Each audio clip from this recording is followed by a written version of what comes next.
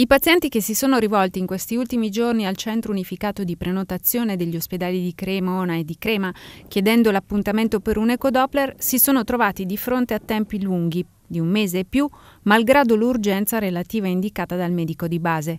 In questi casi, dopo tre giorni, l'urgenza scade e sono malati di 70-80 anni con problemi di circolazione sanguigna. Altri hanno chiesto un piccolo intervento chirurgico, come una signora di Crema che non è più in grado di camminare. Anche lei è stata invitata in una casa di cura convenzionata. Altri ancora temono di avere un tumore al colon e vogliono fare un esame senza potersi avvalere però dell'ospedale. L'elogio della sanità pubblica, visti i risultati della pandemia, si ripete continuamente di questi tempi, ma il pubblico è costretto a delegare al privato per mancanza di personale e di mezzi in seguito alle scelte di Regione Lombardia e dei governi.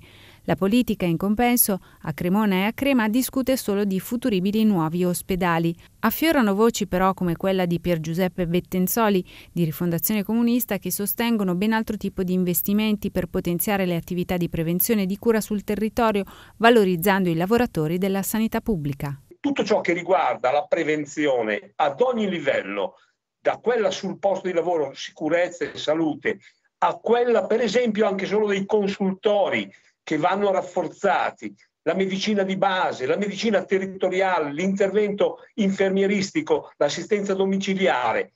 Io credo a questo tipo di medicina. I medici in questi casi sono stati quelli che vengono definiti degli eroi, ma hanno pagato un prezzo durissimo per svolgere la loro funzione, perché non avevano neppure i mezzi per farlo, le cose elementari.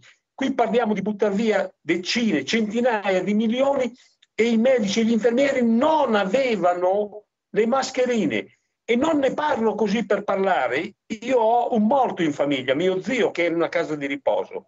E nella prima fase gli operatori sanitari non avevano neppure le mascherine, non hanno fatto i tamponi né agli operatori sanitari né ai pazienti. Allora, rafforziamo non le strutture fisiche di edifici, ma rafforziamo le persone, la medicina territoriale di base.